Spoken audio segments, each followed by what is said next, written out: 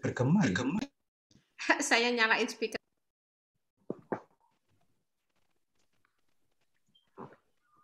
Cocok jadi penyanyi tuh Pak Heri suaranya.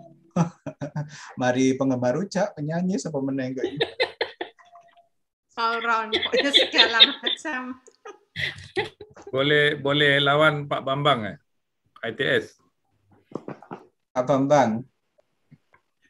Pak Bambang Sumardiono. Ya, Sumardiono ya. Oh, lama tak jumpa ini Bro Hamdan. Pak Bambang lama tak jumpa ini. Selalu jumpa di FB tengok dia nyanyi aja. Oh, oh iya iya iya iya betul betul. Suka suka, suka menyanyi. Iya, suka nyanyi. Iya. Suka iya Pak Bambang suka oh. menyanyi. So, kalau ada kesempatan mesti tidak pernah ketinggalan tuh mesti.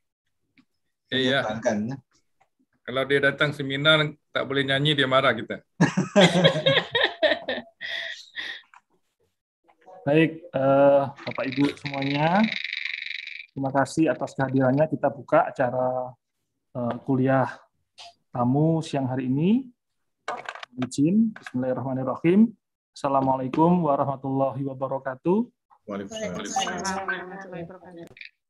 Disyukur kehadirat Allah Subhanahu wa taala pagi hari ini tak boleh nyanyi dia marah kita. Siang uh, Bapak Ibu semuanya, sebentar, sebentar. terima kasih atas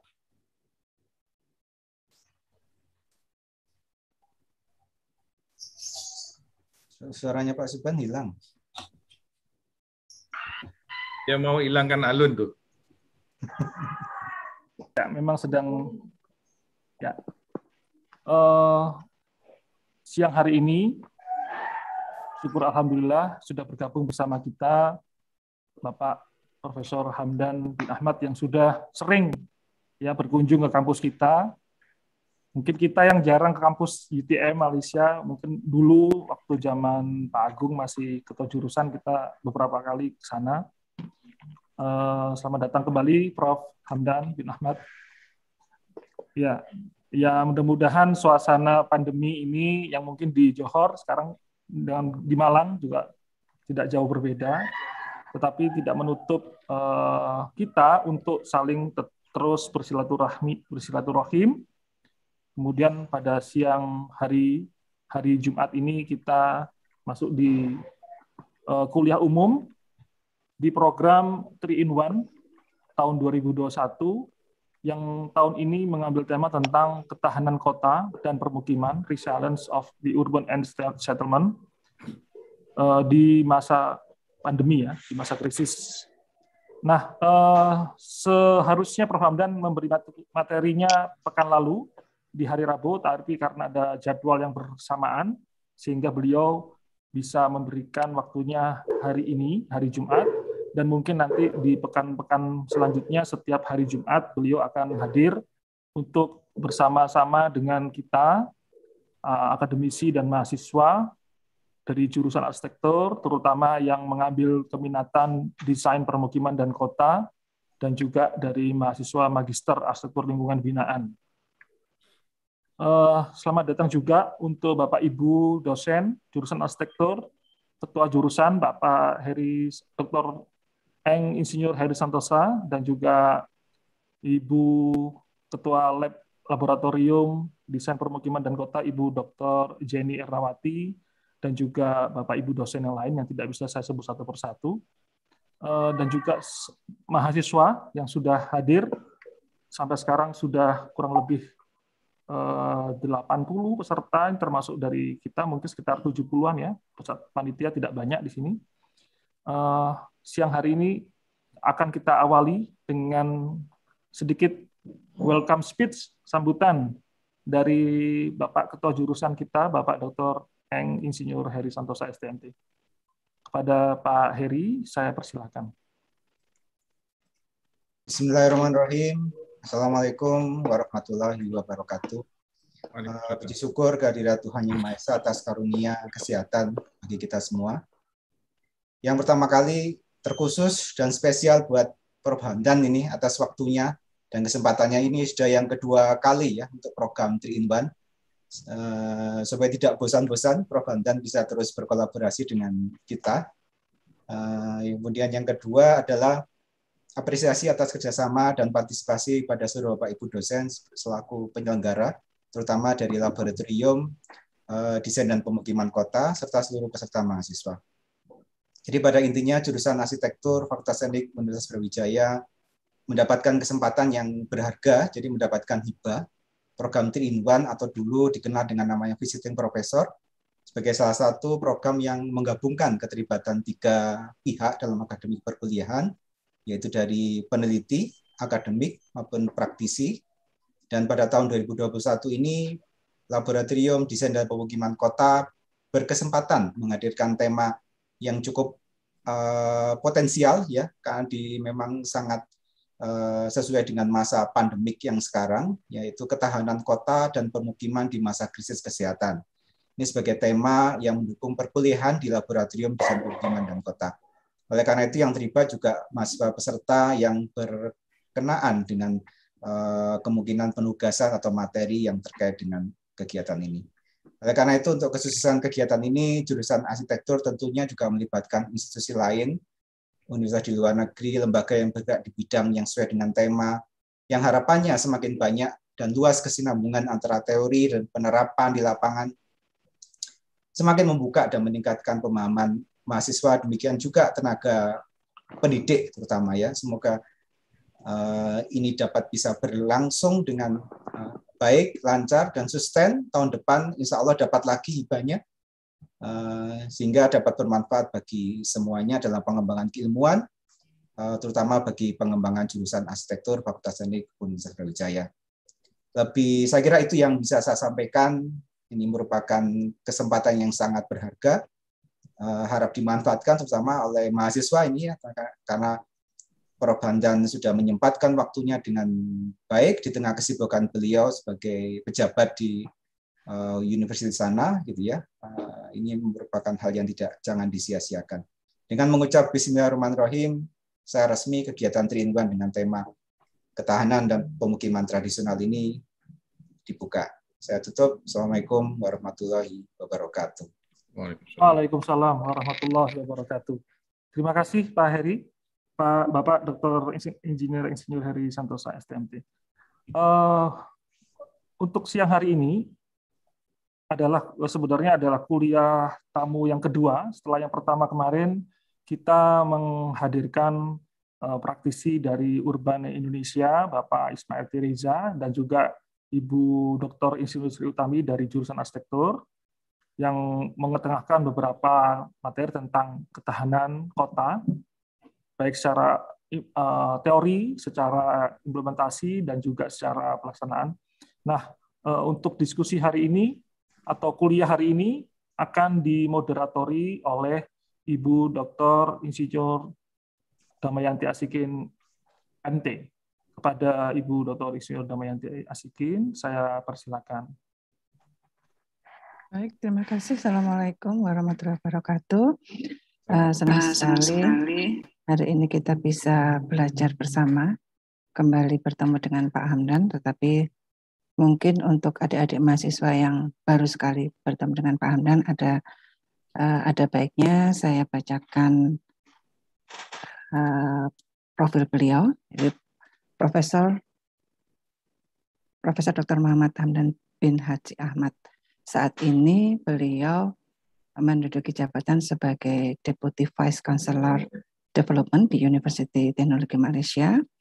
Beliau menyelesaikan studi bachelornya di University of Miami, Coral Gables, Florida, dan menyelesaikan uh, eh, PhD-nya di University of Manchester, United Kingdom.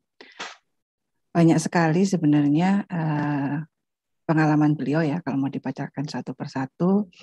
Yang pasti uh, beliau sangat concern pada dunia arsitektur pasti ya karena memang mengajar di arsitektur uh, yang jauh uh, ketertarikan beliau pada banyak hal terutama pada uh, proses sustainable cities and urban habitat kemudian pada sustainable environmental arsitektur pada building performance studies kemudian juga di architectural education public park design dan ecotourism. Jadi menurut saya banyak hal yang bisa kita pelajari dari beliau. Jadi alhamdulillah beliau uh, berkenan untuk berbagi pengalamannya. Jadi menurut saya mungkin uh, pengantar ini cukup memberikan gambaran uh, bagaimana tentang profil Prof Hamdan. Jadi mungkin untuk menyingkat waktu, uh, waktu dan layar kami persilahkan kepada Prof Hamdan. Silahkan Prof. Oke. Bismillahirrahmanirrahim. Assalamualaikum warahmatullahi wabarakatuh. Waalaikumsalam. Uh, boleh dengar, boleh dengar, eh? boleh dengar eh? Sudah, uh, jelas, sudah. jelas. Jelas, jelas. Jelas, jelas. Kalau jelas, okey. Um, pertama sekali saya ucapkan terima kasih kepada uh, Universitas uh, Brawijaya ataupun Department of Architecture, uh, Universiti Brawijaya, ya, yang sekali lagi menjemput saya untuk uh, bersama-sama dalam program uh, visiting professor yang dijenamakan sebagai 3 3 plus 1 ya. Okey, um, sebenarnya saya terkejut kerana uh, saya ingat sudah tidak uh, berlangsung ya. Jadi saya menerima jemputan UPI Bandung uh, uh, sebagai uh, visiting professor di sana. Tetapi uh, uh, insyaallah uh, dengan uh, apa ni uh, perubahan daripada jadual dan uh, Pak Subhan bersetuju untuk mengubah kepada hari Jumaat uh, jadi uh, saya bisa bersamalah ya dengan uh, rakan-rakan di Brawijaya. Uh, dengan Bandung saya hari Sabtu. So dengan uh, UTM saya hari Ahad sehingga Kamis. Dan uh, hari Jumaat sebenarnya adalah hari uh, uh, libur ya uh, bagi kami di Johor Bahru. Jadi uh, lebih mudahlah untuk saya uh, bersama-sama dengan uh, rakan-rakan di uh, uh, Brawijaya. Ya. Okey, um, sebentar ya. Okey, um, saya juga uh, mengucapkan terima kasih kepada uh, Pak Heri ya um, yang uh, sudi uh, merasmikan program kita pada petang ini ya dan uh, kepada Ibu Jenny ya uh, dan rakan-rakan lainlah termasuk uh, uh, doktor baru kita Dr. Damayanti ya tahniah uh, congratulations uh, last time I was in yeah, I was in Malang masih lagi uh, ya berkumpul lumus ya. Uh, tapi alhamdulillah ya akhirnya berjaya. Uh, dan of course uh, juga kepada uh, anak murid saya uh, Agong Nugroho eh, nampak ada di situ ya dan uh, uh, rakan-rakan uh, daripada uh, Universitas Brawijaya ya. Jadi saya uh, uh, akan uh, berkongsi uh, dalam dua language ya, bahasa Inggeris dengan bahasa Melayu Malindo mungkin ya. uh, kalau tidak faham mungkin boleh nanti ditanya atau terus saja uh, ya stop saya dan uh, boleh uh, mengajukan soalan ya or you can ask me whenever you want ya during during the sharing session ya. Okey um, tadi uh, Pak Subhan meletakkan sebagai ketahanan pemukiman tradisional ya dan uh, kalau boleh dikaitkan dengan uh, temanya iaitu um, semasa pandemik ya uh, COVID-19 ya. Jadi saya mungkin elemen itu tidak ada dalam slide tapi saya akan perjelaskan ya uh, dalam ulasan saya dan kalau ada soalan-soalan tentang itu insya-Allah saya akan uh, cuba jawab ya. Okey, um, uh, SS ice breaking ya sebagaimana uh, uh, Pak Subhan tadi ya uh, saya kongsikan bersama dengan uh, mereka yang belum pernah ya ke um, ke UTM Okay, ini adalah kampus UTM. Sekarang kita ada tiga buah kampus berasingan. Uh, pertama uh, di kampus yang saya berada adalah uh, di UTM Johor Bahru, uh, besarnya 1144 hektar. Ya. Uh, di sini yang uh, Dr. Agung uh, melakukan PhD-nya dahulu dan kita namakan dia sebagai tropical campus ya. kemudian kita ada our former main campus di UTM Kuala Lumpur uh, sebesar 35 hektar uh, memang kecil lah berbanding dengan Johor Baru dan ini kita namakan dia sebagai city campus ya bermaksud boleh berjalan kaki dari sini dalam uh, mungkin 45 minit boleh sampai ke KLCC ya ataupun Twin Towers ya dan kita ada yang terkini adalah um, UTM Pagoh. Pagoh adalah uh, nama pekan kecil uh, di antara Kuala Lumpur dan Johor Bahru. Dan di sini uh, kerana kawasannya kawasan pertanian, uh, kita namakan kampus Pagoh ini yang sebesar 50 hektar sebagai agri campus ya. Dan kebanyakan di sini adalah uh, Research and Development Center for Agricultural Technologies ya. Okay. Uh, secara sepintas lalu, this is the numbers in UTM. Untuk anak-anak yang uh, mungkin mau tahu, kita ada 24,000 undergraduate S1. Ya. Kemudian uh, kita ada 4,358 masters S2 student dan ada 4,828 PhD atau S3. Ya. Yeah uh, student dan daripada uh, jumlah keseluruhan itu 5000 adalah international student ya. Yeah. Uh, termasuk yang uh, yang ramai juga daripada uh, daripada Indonesia ya. Yeah. Jadi yang lain-lain tu mungkin um, boleh dibaca selepas ini saya telah uh, kongsikan slide ini bersama dengan Pak Subhan. Nanti Pak Subhan bolehlah uh, kongsikan kepada mereka-mereka yang ber, berminat. Ya. Okay, dari segi uh, ranking, uh, mungkin untuk kita uh, kita tengok architecture and environment di sini. Ya. Um, kalau saya conteng begini nampak? Tak ya? Sebentar ya. Ya. So kalau tengok di sini, nampak eh? Nampak, nampak. Ah, okey. Maknanya saya boleh conceng-conceng lah nanti. Okay. so, jadi di Malaysia uh, sekarang ni architecture built environment uh, ah, UTM adalah number one. Yeah. Dan kalau uh, di dunia uh, rankingnya 51 ke 100 yeah, uh, dunia. Jadi uh, merupakan perkara yang kami perlu pertahankanlah. Uh, dan semasa saya menjadi uh, dekan Deans of Faculty of Built Environment and surveying sekarang sudah tukar daripada fakulti alam bina kepada fakulti alam bina dan ukur saya meletakkan by 2020 ranking 1 hingga 50 tapi tak tercapai ya. Um, dan saya mengharapkan dekan yang baru ini akan meneruskan usaha itu untuk meletakkan uh, Department of Architecture UTM uh, within uh, 50 ya yeah, best in the world yeah. Oh. Bagaimana ya? Bila diconteng tak boleh gerak ya?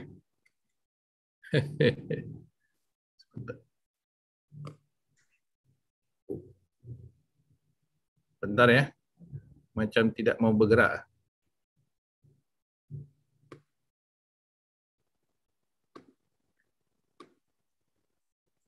Okey. Oh. Saya kena buang ini dulu.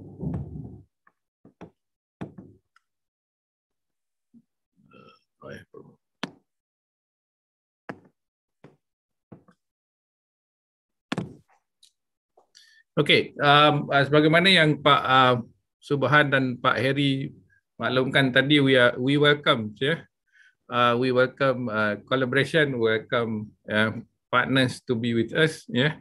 Uh, with UTM, dan saya rasa Brawijaya mungkin kita ada uh, um, inisiatif untuk uh, uh, bersama dengan MOU yang mungkin uh, masih berlangsung ataupun mungkin telah. Yeah, um, uh, telah uh, mungkin uh, belum diperbaharui. Jadi kena kena semak itu dan saya sekarang merupakan uh, chairman of uh, MOU committee for for UTM ya. Yeah. Nanti kita boleh bincang jika MOU telah uh, mungkin telah luput ya. Mungkin kita boleh perbaharui ya.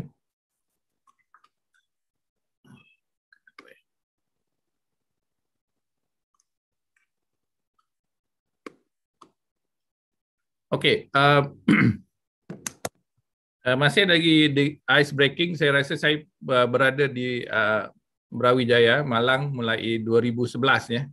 Pertama kali saya uh, hadir ke Brawijaya adalah pada 2011 di mana uh, semasa itu mungkin uh, uh, Dr. Agung uh, uh, menjadi ketua uh, head of department ya mungkin dan uh, ada ya organize Sembar 2011 jadi saya uh, hadir uh, pertama kali ke uh, Brawijaya kemudian 2013 um, saya hadir untuk menjadi tamu eh sebagai visiting professor uh, tapi bukan uh, lantikan seperti sekarang tetapi oleh um, Department of Architecture kalau tak silap saya lah. Jadi 2013 uh, merupakan kunjungan saya yang kedua ya. Uh, kalau tengok itu ada Pak Subhan dalam gambar tu dan sebagainya. Uh, seterusnya pada 2018 ini yang terkini uh, sebelum pandemik uh, merupakan uh, visiting professor di Brawijaya ya dan saya rasa saya hadir dua bulan Oktober, lepas tu datang balik bulan uh, November ya uh, untuk menyelesaikan tugasan saya uh, sebagai visiting professor di uh, di Brawijaya ya. Dan saya uh, sangat uh, suka kepada uh, kopi Sido Mulia itu ya yang dibikin uh, oleh uh, uh, salah seorang karyawan yang saya sudah lupa tapi saya uh, rekodkan bagaimana dia memasak kopi tersebut dan sebagainya. Berapa banyak eh uh, gula diletakkan kerana memang memang enak eh. Okey, so itu sedikit sebanyak uh, bagaimana kolaborasi saya sebelum ini uh, bersama uh, Universiti Universitas uh, Brawijaya Malang ya. Jadi kita masuk kepada uh, perkongsian yang saya diminta uh, untuk uh, uh, kongsi bersama dengan rakan-rakan Uh, dan anak-anak di Brawijaya. Uh, dari segi traditional settlement, uh, kita boleh lihat during the pandemic ini, ya, during the pandemic, kita boleh membaca dalam banyak penulisan bahawa yeah, we have to be able to yeah, work in an open space yeah, if it is possible and at the same time it is possible for us to be as natural as possible yeah? so kalau boleh tidak di kawasan yang enclosed tidak tertutup yeah?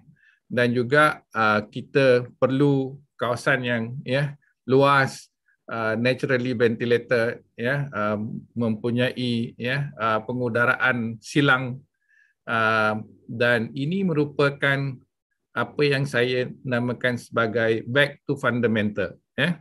Maknanya kena kita melihat semula bagaimana uh, kaedah tradisional ya dalam mereka bentuk uh, uh, hunian ataupun bangunan supaya kita boleh uh, menjauhi atau mengurang daripada ya wabak COVID-19 ya walau bagaimanapun kalau kita tengok uh, pandemik yang terdahulu iaitu SARS rebatkannya itu adalah melalui pengudaraan ya.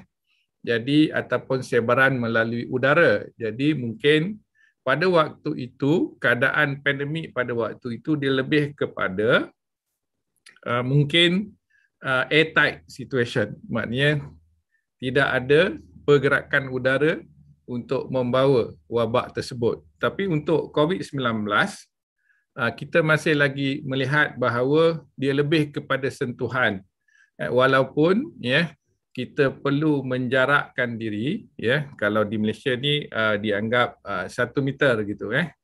Uh, atau uh, banyak orang menggunakan kepada dua meter untuk lebih uh, ya uh, selesa dengan wabak.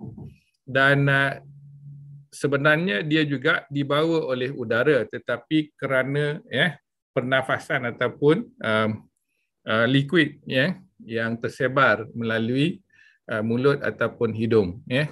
Jadi sebab itu kita diminta untuk memakai mask ya untuk mengelakkan kita mengeluarkan ya uh, virus itu ataupun pada masa yang sama orang lain tak pakai mask eh, sampai virus itu kepada kita. Jadi SOP memainkan peranan untuk ketahanan diri tetapi untuk eh uh, reka bentuk ataupun hunian ataupun penempatan uh, kita kena lihat bahawa kita perlu uh, merespon kepada keadaan yang kita namakan sebagai natural condition eh keadaan semula jadi ya. Jadi saya uh, ingin berkongsi uh, traditional settlement responsive to climate ya. Uh, yang di mana kita tahu bahawa dunia ini mempunyai pelbagai climate dan traditionally uh, uh, the way we design our settlements our buildings yeah, traditional building uh, basically in response to the climatic condition yeah. Okay so for example yeah uh, this is very interesting yeah. Of course we wish to be there but at the same time we feel that we shouldn't be there because it is extreme cold yeah. Okay and the only material that we can see in this area is actually ice yeah snow that turned into a solid ice all right and God is greatest, Allahu Akbar. The only building that is possible to be done is actually using ice, yeah, box of ice, or you know blocks of ice, yeah. So very interesting. We have not seen, of course, yeah, um, ice house in tropical area because by the time you know uh, we see it's already being melted, right? So in this area, ice caps, uh, polar climate, yeah, uh, the the material that is available is ice, and they make their house from ice, yeah. But of course, the the envelope, okay, may not be able to protect them. Dia tidak boleh menjadi satu ketahanan, ya, uh, yang kuat, eh, kerana it is extreme, ya. Uh, climate-nya terlalu ekstrim.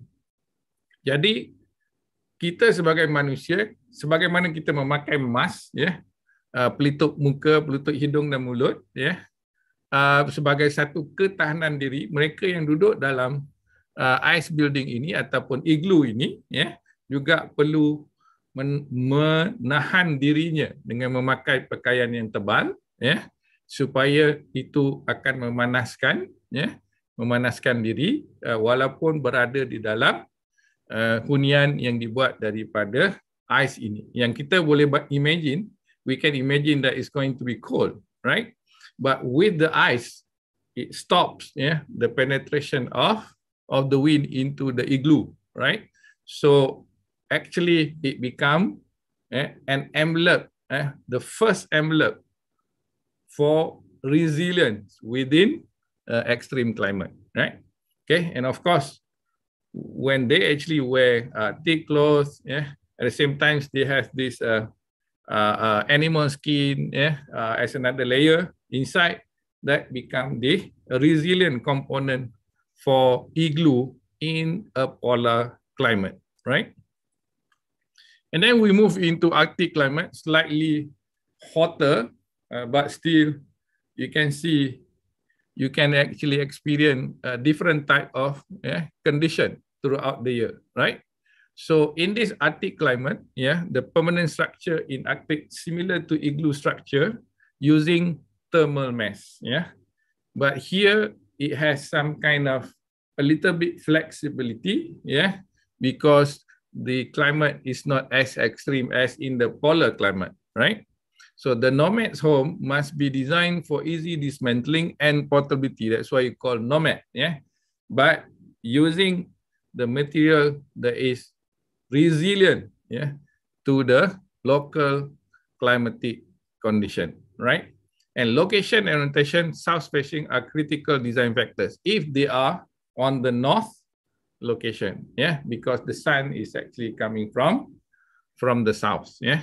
So this is part of being resilient. So if we wanted to, yeah, uh, relate to the pandemic situation, then we have to find out what caused the pandemic to yeah, spread and then how should we actually design our settlements or our dwellings or our houses yeah okay And if we move to another climate, cold and warm summer, uh, for example, in China, yeah, uh, bedding have to be robust enough to cope and material has to be chameleon-like to be able to create ideal indoor environment.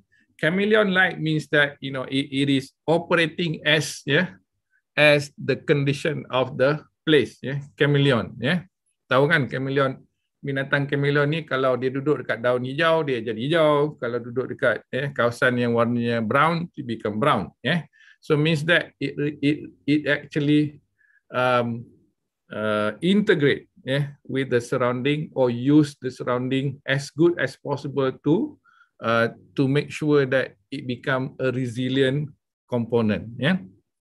Okay. Um so so the place here, if you look at here, yeah, uh, most of it is actually dwelling which is underground, yeah, because uh, that is the most resilient uh, condition that they can be in, right?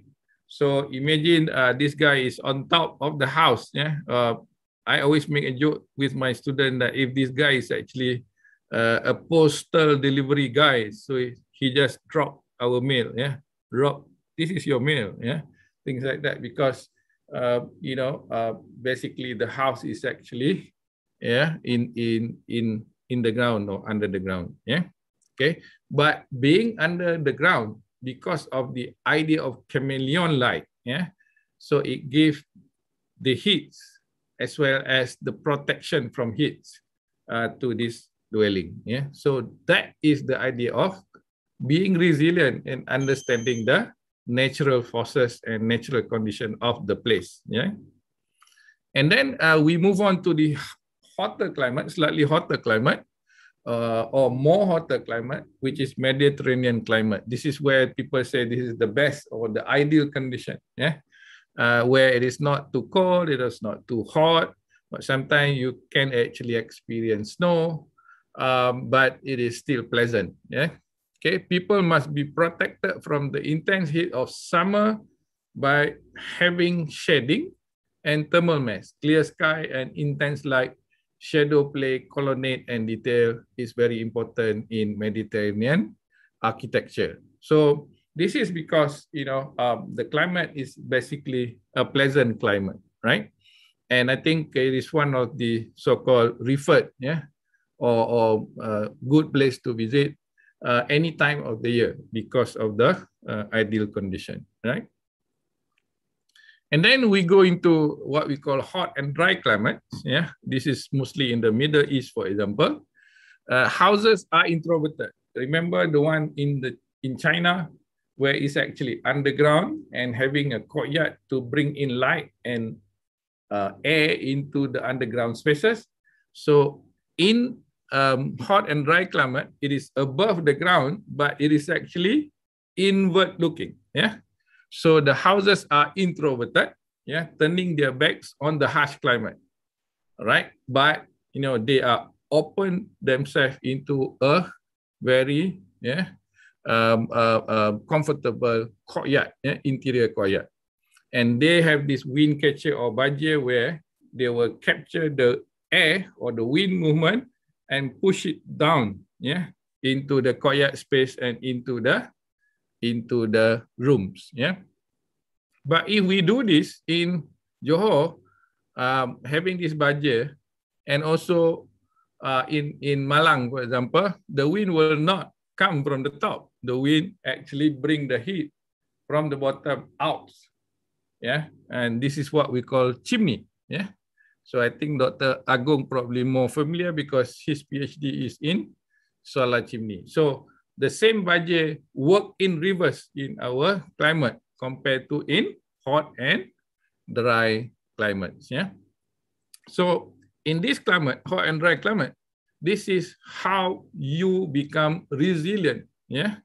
And actually adapting at the same time with the climatic condition, right? Okay, and then uh, uh, hottest area, which is hottest and driest of places, uh, normally in the desert area atau ataupun di apa gurun ya, di kawasan gurun, uh, where actually is all work with the thermal mass. Yeah.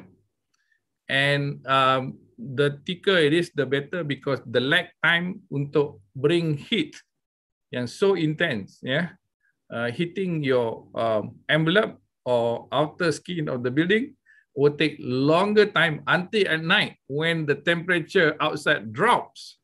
And then the heat that is stored in the yeah in the thermal mass will actually heat up the spaces. So in order to make you again resilient and this is only using a natural um, response yeah to the local condition yeah local climate and local local condition.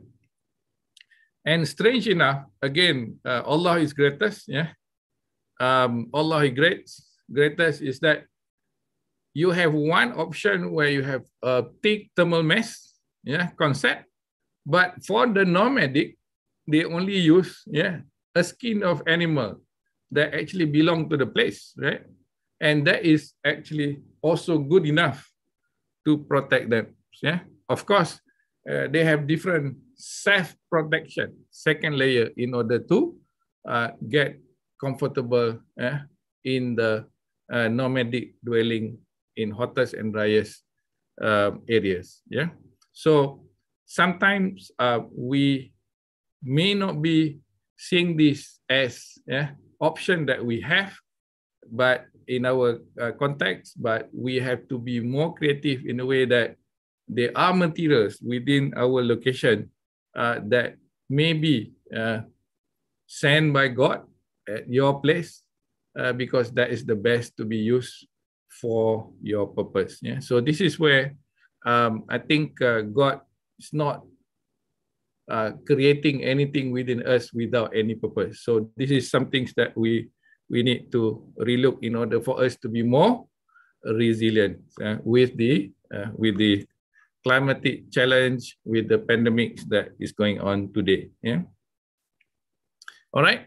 So going to the warm humid condition, yeah, uh, for a subtropical climate, uh, it is pleasant uh, and pleasant most year round, just like the Mediterranean, yeah. Uh, but it is basically humid, yeah. So ventilation is a must, yeah. So I guess in Johor Bahru and in Malang, um, the need for ventilation is is very important, and this is where, for the pandemic uh, condition uh, today, uh, we need to make sure that the uh, the natural ventilation helps improve and the polluted air that could develop into uh, spread of the uh, disease further. Yeah.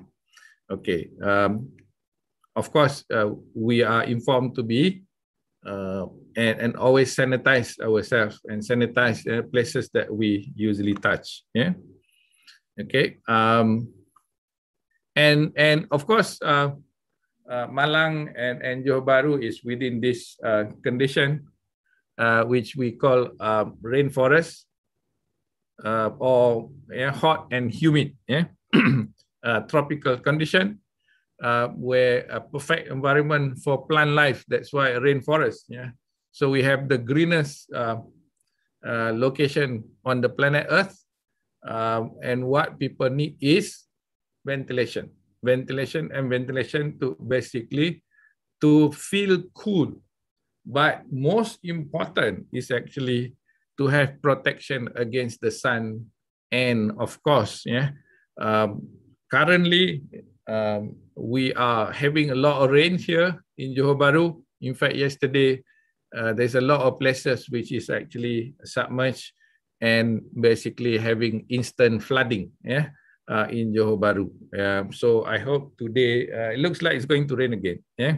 So this is certain things that we need to understand within our location where we need to protect ourselves from intense heat from the sun but at the same time we have heavy rain and the other things that they need to be uh, naturally ventilated so the whole things will translate into resilient architecture and when you have um, you know into a bigger scale it will be like resilient settlements. Yeah. Okay, another interesting place is, actually warm and wet environment. Yeah, if you look at here, uh, the traditional approach is actually to have yeah um, what we call breathing wall. Yeah, what building really needs in this place is just a roof. Yeah, if you look at uh, here, uh, this fog. yeah, human being here actually holding a roof. That's the only thing that they need basically because they need to have a lot of natural ventilation within this uh, warm and wet environment. And, and walls are very permeable, means that it has this breathing wall. You look at here, the wall is very breathable, yeah, in that sense. In order for us to be uh, resilient with the climate condition.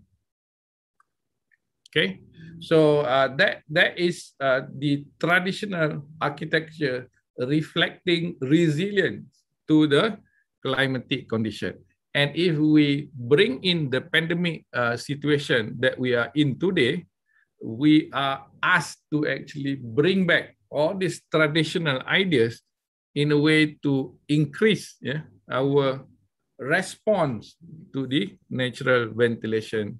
And at the same time, if we reduce the heat, we actually reduce the heat stress and that will increase our ability to heal uh, as fast as possible. Okay, and then I go into um, the Malaysian uh, scenario, yeah. And this is very interesting uh, data where uh, it is 2018.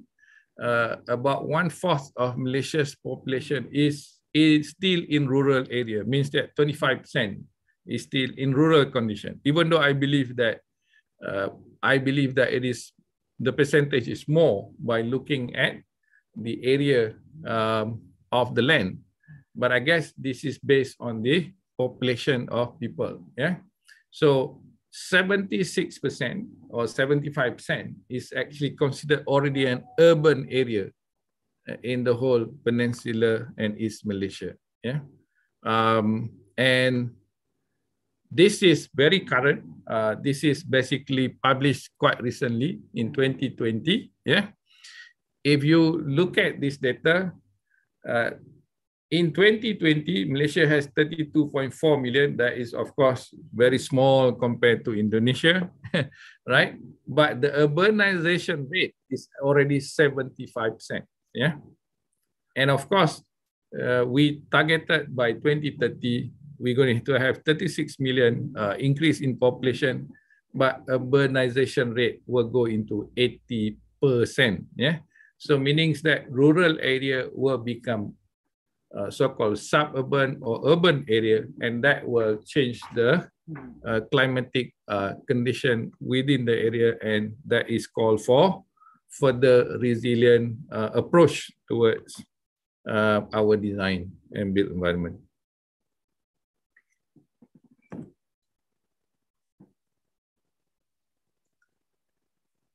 Hold on.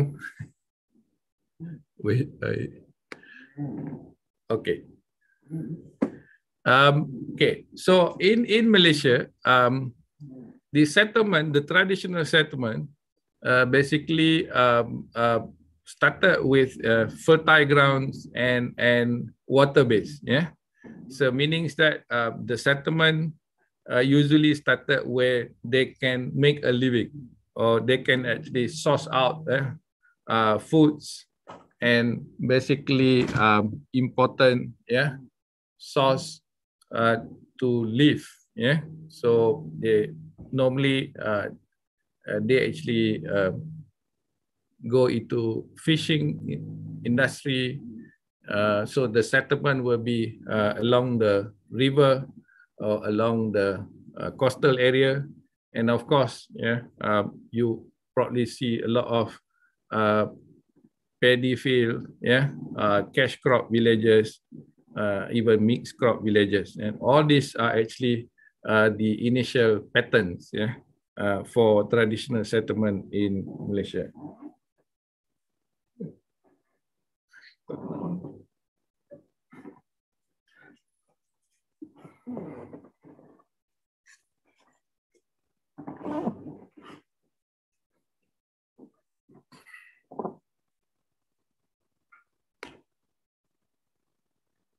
Sorry, I I have, I have visitors just now.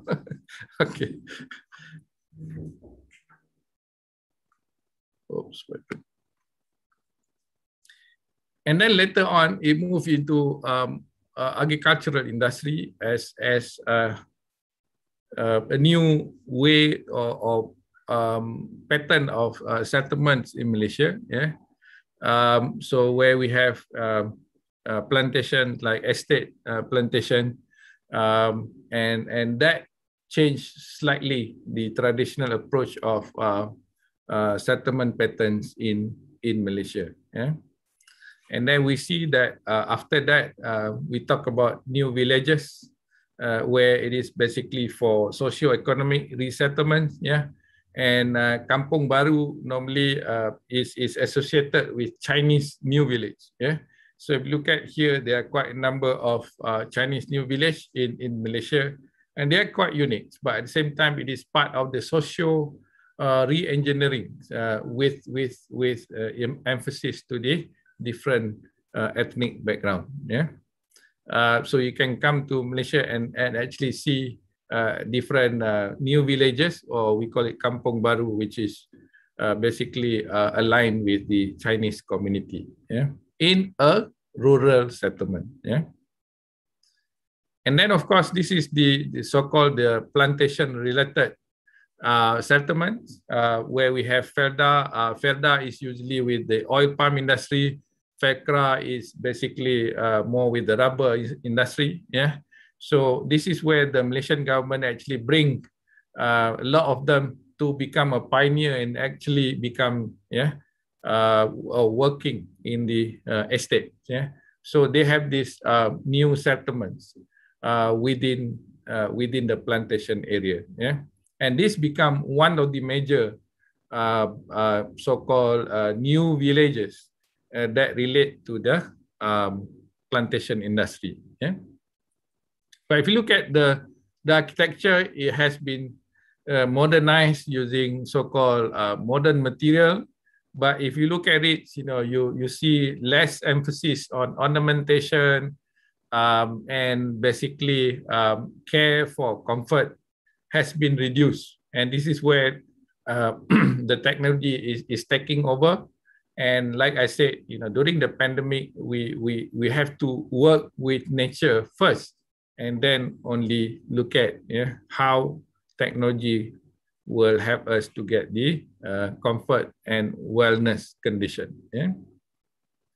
All right, so this is uh, a, a, a typical uh, uh, condition of, of village and, and in the um, um, remote area and the other one is actually near the coastal area. Yeah.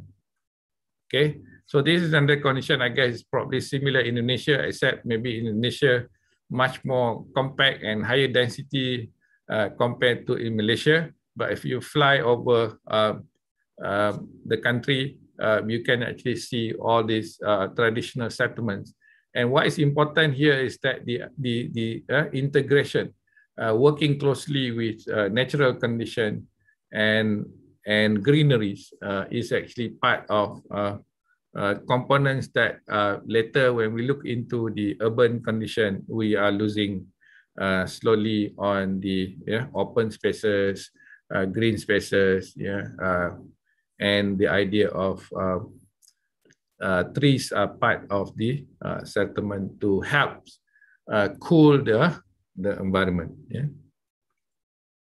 And of course, within uh, uh, the settlement, rural settlement or traditional settlements, you always have this major building like the mosque, yeah, the community hall, uh, in order for the community to actually do their activity and basically uh, um, uh, prioritize uh, their activity according to community needs. Yeah. Okay, and then um, the next is actually how uh, Malay traditional architecture uh, will respond to the uh, climate condition uh, is what we are trying to achieve. Yeah, uh, with a lot of difficulties today because uh, maybe we have lost the appreciation of our traditional uh, settlements and condition, but maybe at the same time because we are too dependent on technology to basically uh, increase our comfort and um, uh, uh, um, uh, lifestyle, right? But with the current pandemic, um, somehow um, being enclosed and being actually air conditioned spaces in air conditioned spaces is not advisable. In fact, if I go to my office in UTM, um, I have to, you know, open all my window. Luckily, my room has a window. Yeah, a lot of people uh, do not have window in their office, so then they can only work using our SOP. They can only work less than two hours. Then they have to stop working and probably go home and work from the home because by definition, if you work two hours in an enclosed space, you are yeah, opening up yourself to yeah, to the spread of the virus. Yeah, means that you are not resilient anymore. In fact, in this country, if you are in an enclosed space with someone who are positive COVID, more than 50 minutes, yeah, in an enclosed space, more than 50 minutes, you are considered as close contact. So you have to quarantine yourself for 14 days, right?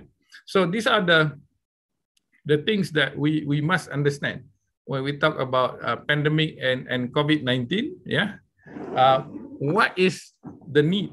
Yeah, how long can you be in an enclosed space? And how we actually be resilient and actually design our building to accommodate this condition so that we are not considered as uh, close contact uh, in, that uh, position, for example. Because when you are considered as close contacts, you have to quarantine yourself 14 days. I mean, I cannot meet anyone for 14 days. I have to quarantine myself alone in my house, uh, but I cannot meet anyone. And of course, uh, the fortunate thing about technology is that we can do this online now, right? So that is fortunate, but it is not good to actually quarantine yourself over a period of time. Yeah. So this is something that we need to understand and and start looking at how uh, traditional yeah settlement teach us to be resilient right? Now of course um, the, the idea is that you know traditional uh, settlements or architecture always actually they, they, they are not they are not very strong but they are stronger when they work with the nature right? If you look at these images, this, this house on the top and actually a house here, there are nothing without the trees. They are nothing, means that they expose themselves to the harsh climates too much. But with the working together with nature, they reduce that and they actually become more resilient. Yeah. So this is where um, uh, the, the idea of having resilient settlement uh, in the pandemic, we, we need to understand yeah, how you call something to be resilient with say COVID-19 and how you actually now start designing our settlements, yeah, so that we can achieve that. Just like I said, you know, you cannot have enclosed spaces for more or be in enclosed spaces for more than 50 minutes. So meaning what? Every 50 minutes, the window has to be opened, you know, so maybe we can start looking at the window has to be openable every 50 minutes without you even go and open it. So this is some of the things that we need to look at from yeah, the traditional perspective and now make it into an autonomous or automatic or technological oriented um, uh, function. Yeah. And of course, um, if you look at the architecture response, uh, you look at the roof uh, structure here, uh, most most of the yeah, um, response for different state in Malaysia is actually having a pitch roof, but of course the pitch are slightly uh, different from different state to another, yeah, because of the cultural belief or cultural expression. But the pitch roof is actually a response to the yeah uh, rain situation, yeah, which is very heavy in in Malaysia as well as in in Malang. Eh? Okay, and then this is the Southeast Asian uh, traditional architecture. If you look at it, it's all again, um, basic understanding of pitch roof uh, because of the condition. And if you look at here, it's all breathable. Uh.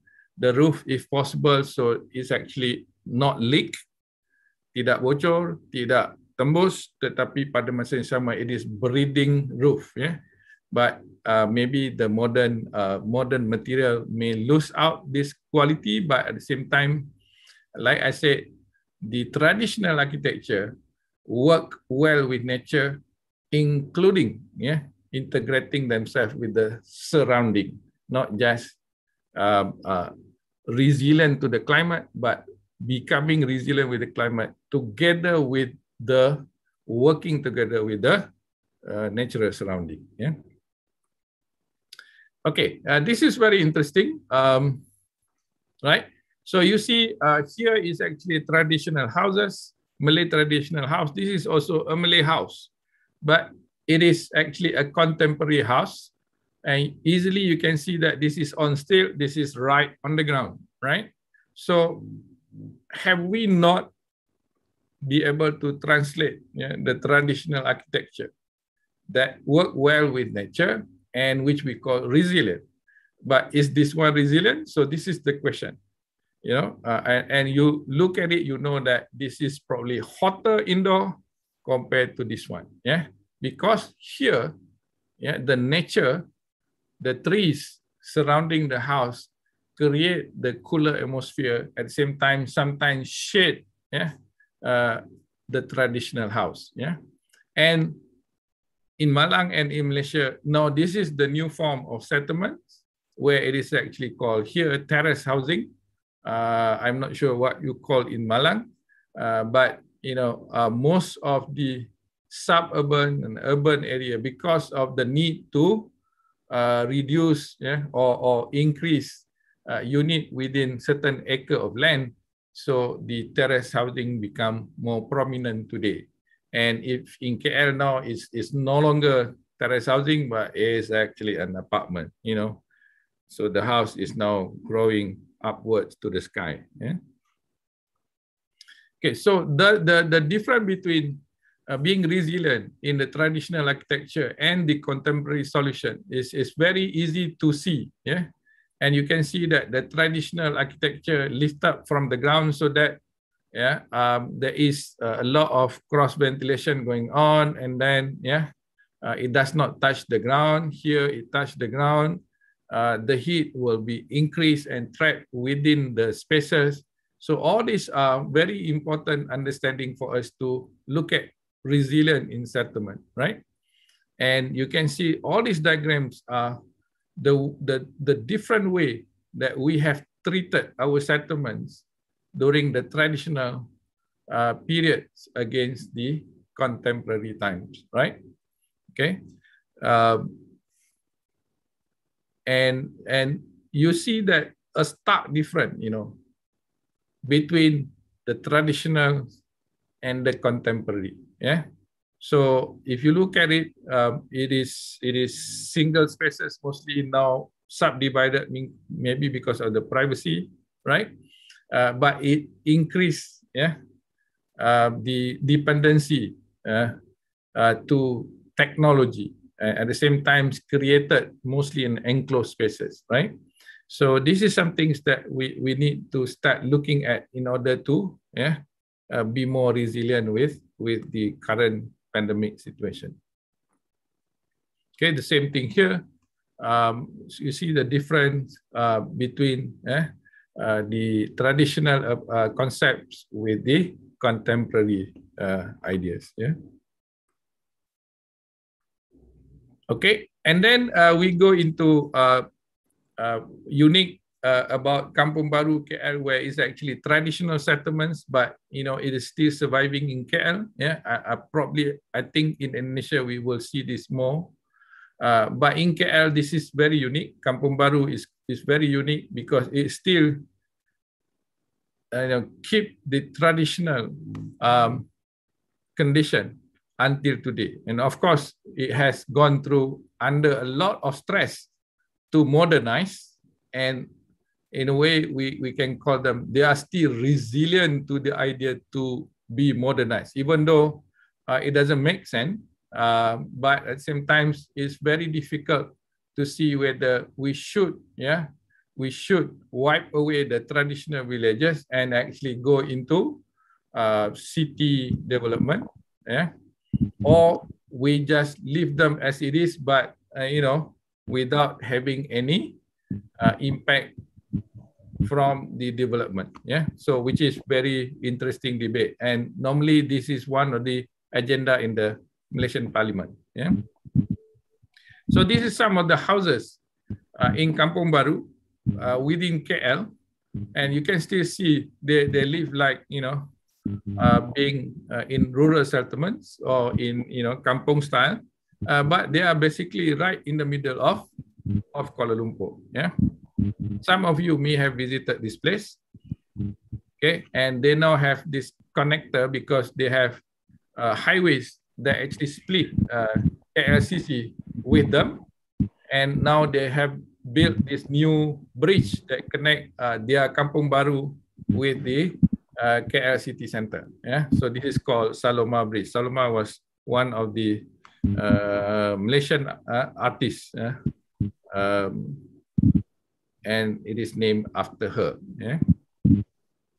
Okay, and this is what I call a, a, a, a, a pressure for them to develop into so-called uh, city yeah, city uh, condition right so they are they going to be resilient as traditional houses or they need to now become modern and actually uh, embrace yeah embrace this uh, city yeah, life yeah where normally you you talk about high rises and living in the sky you know compared to what they used to live on the ground yeah so some proposal like this you know a lot of people are worried but you know um, our sentiment is that whether they still stay as village or they will be part of uh, Kuala Lumpur city yeah uh, still at the moment they are still resilient in the sense that they are still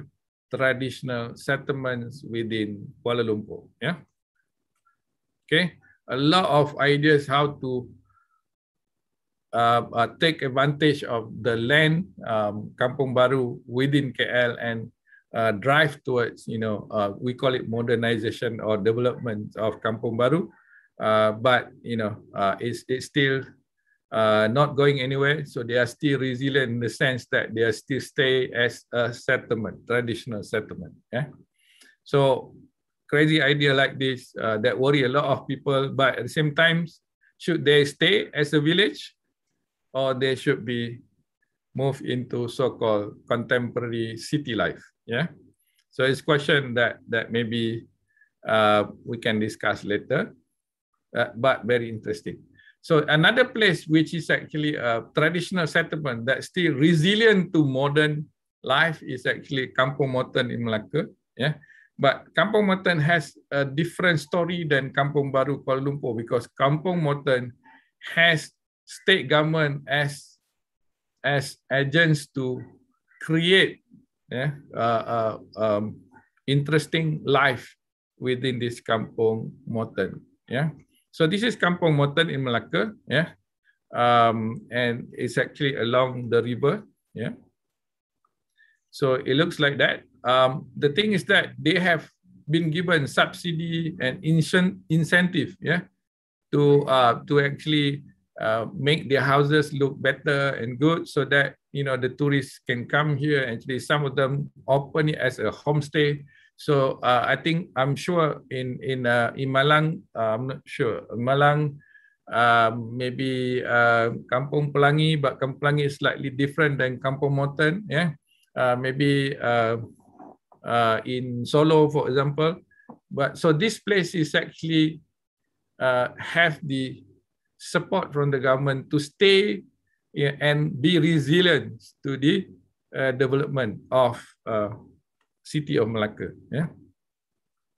So that's how it looks like. So the development is going on around the Kampung Moten, but Kampung Moten somehow uh, stay as as it is uh, as part of the um, so-called uh, tourist zone within uh, the city of Malacca. So in a way, they become resilient.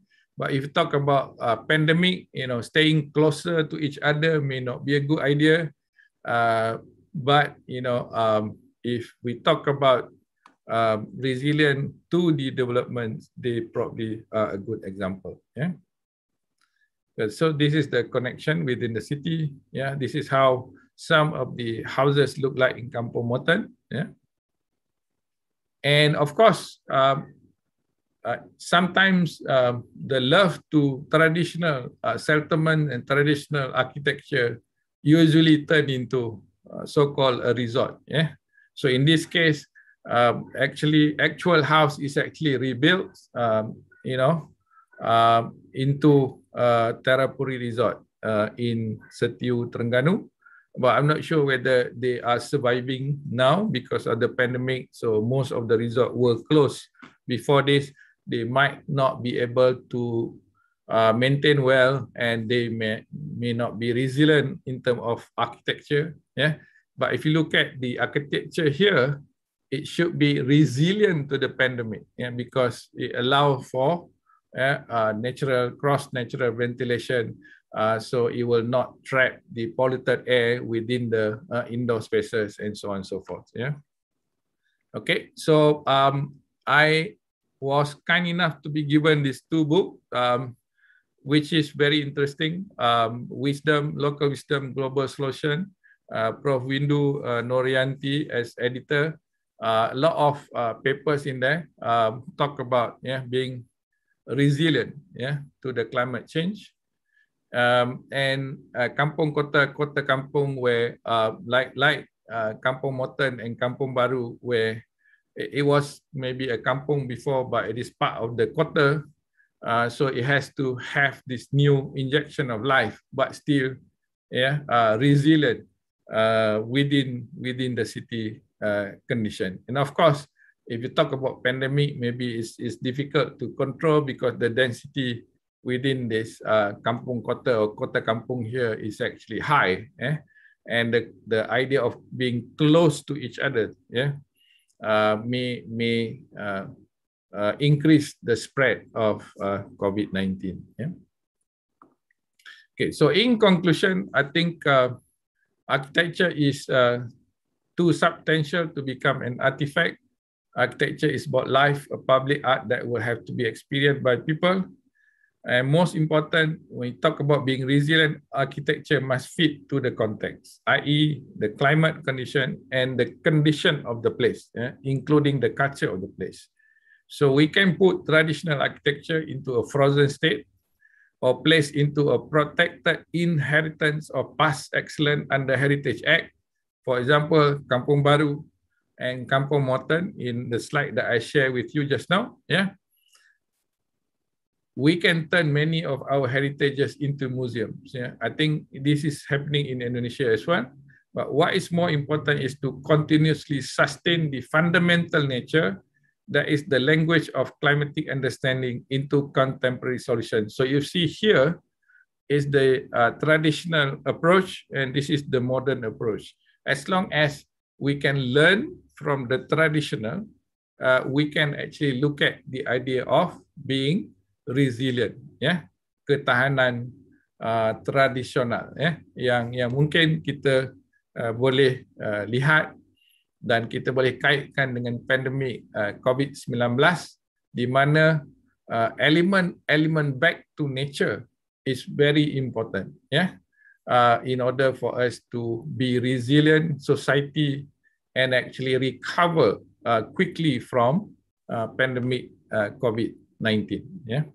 So with that, um, maybe I end here. So I hope I've not been taking too much time, but um, I have a lot of time today because uh, it's not my working day. Uh, so I welcome uh, a lot of questions, if any, and I'll try to answer your question. So I pass over to the moderator. Thank you. Should I stop sharing? Terima okay. kasih. Alright. Terima kasih uh, paparannya Prof. Hamdan. Menarik sekali menurut uh, bahwa di sini menurut saya uh, dipaparkan bahwa arsitektur tradisional atau permukiman tradisional sebenarnya menunjukkan ketahanannya, tetapi modernitas membuat banyak perubahan sehingga manusia lebih tergantung pada sesuatu yang buatan, di mana sepertinya kondisi pandemi itu suatu momen untuk kita mau melihat kembali potensi-potensi pada permukiman tradisional. Bahwa sebenarnya banyak hal yang mungkin uh, mampu mempunyai ketahanan, terutama pada kondisi pandemik seperti ini. Dan ini yang harus kita pelajari atau kita tinjau kembali hal-hal apa yang harus kita pertahankan untuk uh, resilience permukiman ke depannya. Sambil menunggu mungkin ada pertanyaan dari peserta. Belum ada ya Mas ya. Hmm. mungkin langsung kalau misalkan memang ada yang ingin menanyakan langsung silakan saja karena saya lihat di dari Matulen ada. Karena saya lihat dari dari chatnya belum ada, mungkin ya, bahasa Melayu pun tidak apa, bahasa Indonesia pun boleh. Okay. Baik Pak. Menurut saya tapi masih masih banyak bahasa yang kita masih saling mengerti lah. Jadi ya, mungkin ya, ya. Bapak Ibu kalau ada yang ingin menanyakan langsung silakan. Saya lihat masih belum. Uh, Mungkin sambil ada yang mau menanyakan? Belum ada. Mungkin sambil menunggu Prof. Hamdan. Saya ya. melihat ya. seperti di uh, Kampung Baru itu menurut saya sesuatu yang menarik ya, di mana permukiman tradisional itu bisa dipertahankan di tengah modernitas yang seperti itu. Apakah mungkin dengan kasus yang pandemik seperti ini itu juga ada korelasinya bahwa untuk kampung-kampung tradisional seperti itu eh, kasus positif COVID-nya mungkin jadi lebih rendah atau malah lebih tinggi karena sesuatu yang sangat bertolak belakang ya bahwa dengan eh, banyaknya udara atau pertukaran udara dengan luar sebagai prinsip permukiman tradisional saya rasa untuk kasus pandemi itu kan sesuatu yang bagus. Karena kita tahu pada bangunan-bangunan modern kan harus dibuka. Yang buatan-buatan semua dihilangkan. Nah, apakah uh, kondisi pandemi ini menunjukkan korelasinya, Pak? Maksud saya itu kan bisa sesuatu untuk belajar juga, meyakinkan kita bahwa mungkin hal positif yang bisa kita ambil dengan kasus pandemi ini adalah dunia ini diriset oleh Tuhan bahwa kita harus mulai kembali lagi bahwa kita berpegang pada alam tadi, seberapa yang bisa kita pertahankan atau kita ambil untuk kita terapkan untuk modernitas. Hmm. Mungkin Prof. Hamdan bisa cerita lebih lanjut untuk itu. Oke, okay. uh, uh, soalan yang uh, sukar, tapi um, sebenarnya um, kita boleh tengok uh, dalam dalam dua atau tiga perspektif. Ya. Uh, pertama sekali, kebanyakan uh, remote area, ya, hmm. kasusnya kosong, nol. Hmm. Ya. Bermaksud tidak ada orang membawa penyakit. Hmm. Kerana kawasannya terlalu remote ya, terlalu jauh eh. Jadi mungkin benarlah bahawa uh, spread of the virus because of contact. Hmm. Hmm. Okay, itu nombor satu. Eh. Yeah. Jadi kawasan-kawasan pendalaman, remote area, uh, orang asal, uh, tidak pernah saya baca bahawa mereka ada ada positif COVID. Hmm. Eh, kerana mereka resilient tidak membenarkan uh, tetamu hadir. So that's where the idea of lockdown. Okay, supaya kita ini orang ini tidak membawa eh, penyakit itu ke ya uh, dan memang ada pun uh, uh, dia jadikan sunnah sebenarnya kan kalau ada uh, ada musibah sini kalau boleh tidak dibawa ke uh, komunitas yang lain dan sebagainya. So itu ideal lockdown ya. Okay, tapi kalau kita lihat kepada uh, uh, settlements ya ataupun hmm. reka bentuk uh, bangunan ya uh, sebenarnya kita kena reduce hmm. being in polluted air polluted air itu adalah udara yang mengandungi virus kan hmm. jadi itu yang saya sebut tadi uh, kalau di Malaysia saya memang sudah dua tiga kali perlu di kuarantin sendiri ya kerana saya berada dengan orang yang positif COVID-19 lebih daripada 15 minit saja. Okay. Bila uh, uh, pegawai kesihatan atau doktor contohnya uh, menginterview saya mengatakan bahawa uh, prof adakah bersama dia lebih daripada 15 minit saya kata yes okey jadi prof adalah kontak pertama hmm.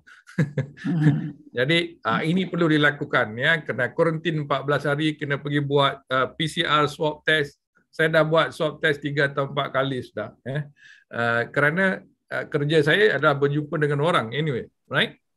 Tapi saya kena faham bahawa kalau saya mau jumpa dengan orang, mesti tidak lebih daripada 15 minit supaya saya tidak jadi kontak pertama. Hmm. right?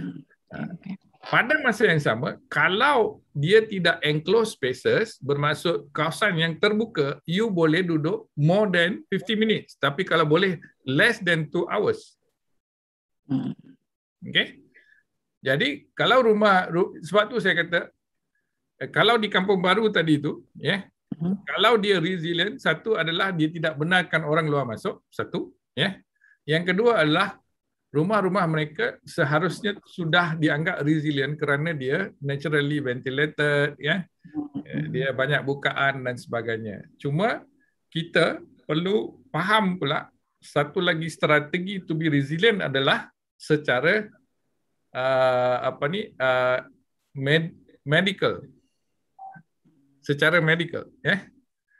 jadi if we are designing a modern structure jadi kalau boleh kita gunakan teknologi di mana every 50 minutes hmm. opening will be open. Right? Hmm. So that allow our architecture to be resilient actually not a cause for concern for increasing the spread of the virus. Hmm. Yeah. So not because they are traditional settlements, tapi it is how the building yeah. Yeah, perform to reduce the spread of the virus. Yeah. Uh, so so cannot take it literally. So kita kena tengok uh, what make us to get the virus, right? And then design the building so that it reduce that uh, possibilities. Right? Okay. Ini okay. Emma, Emma macam mana ya, soalan? Bu Emma. Bu Emma mau langsung aja? Monggo Bu Emma. Boleh. Ya, okay. silakan. Ya, Bu Emma. boleh menyampaikan pertanyaan in Indonesia. Boleh, ya. boleh. Saya jawab in, ja, in, in Javanese. Oke, okay. terima kasih. Uh, saya juga tulis uh, tadi pertanyaannya di kolom chat. Uh, jadi uh, kita kan sekarang ini masih dalam era post pandemi mungkin ya atau um, pandemi tapi sudah turun gitu skalanya. Tetapi kan kita harus tetap waspada. Uh, dan kemarin itu ketika uh, masa pandemi, salah satu sektor yang jatuh, yang mengalami keterpurukan itu adalah sektor wisata. Uh, salah satunya adalah heritage tourism, gitu kan, Prof. Nah, ini kan harapannya ke depan sektor ini bisa bangkit lagi gitu. Jadi jangan sampai jatuh lagi sehingga kita memerlukan satu uh, strategi. Kalau tadi yang disampaikan Prof Hamdan itu mungkin untuk yang di uh, ruang tertutup gitu. Ada satu uh, sistem yang dia bisa uh, membuka ya. mungkin setiap 25 menit begitu. Nah, ini untuk yang di luar ini rasanya juga kita perlu strategi gitu ya supaya uh, turis bisa tetap merasa aman dan nyaman gitu, tidak takut terinfeksi virus uh, COVID-19 gitu ketika mereka berwisata di di kawasan heritage itu gitu. Nah, ini menurut Prof Hamdan kira-kira uh, strategi atau desain yang bisa kita uh, terapkan di kawasan-kawasan heritage ini yang seperti apa? Terima kasih Prof Hamdan. Okay. Alright, um, konteksnya adalah uh, kawasan heritage ya. Uh, maknanya dia adalah kawasan uh, sedia ada existing, right?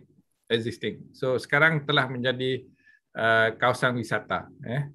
Um, contohlah kalau di Malang katalah kita ambil uh, Kampung Pelangi ya. Kan very very compact uh, very high density population tapi kita pun pergi sana bayar 3000 rupiah masuk dalam kan? Uh, jadi jadi uh, di kawasan-kawasan ini bagaimana kita kita boleh uh, uh, melihat bahawa the community is resilient to the pandemic situation tetapi aktivitasnya berlaku seperti normal ya? yeah? Uh, very interesting question. So uh, sebenarnya uh, we cannot change the her- the heritage condition, right? That's number one. We must know that we cannot change.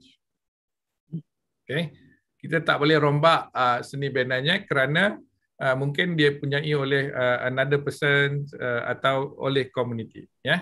jadi wisata itu kena berlaku dengan prosedur-prosedur dan polisi-polisi tertentu. Ya, yeah?